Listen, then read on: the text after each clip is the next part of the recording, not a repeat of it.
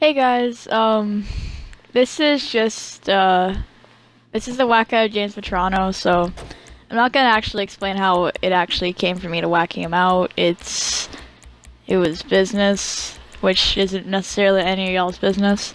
So, he asked me to upload it yesterday, because I did this maybe a week or two ago, and then I got shit for it, so, um, he said that he was leaving, and then he's like, upload that whack, like, upload that video whenever you whacked me. So I said, okay, I'll do it.